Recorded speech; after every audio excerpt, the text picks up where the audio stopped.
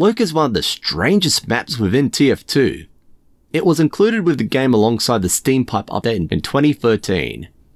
It consists of a single control point in the middle of a map hoisted above two spawn rooms. There are big posters inside each spawn room. You can't re-enter the spawn once you leave as the trigger area does not cover the outside. It's not clear what the original purpose of the map was. A test for King of the Hill? A test for spy cloaking ability? Someone on the team goofing around? Who knows? It was likely used to test engine features such as skybox scaling, explaining the strange skybox. Within it are the nine classes staring down on you, judging you for your ill deeds. Still, it's fun to come up with silly theories as to why the map exists.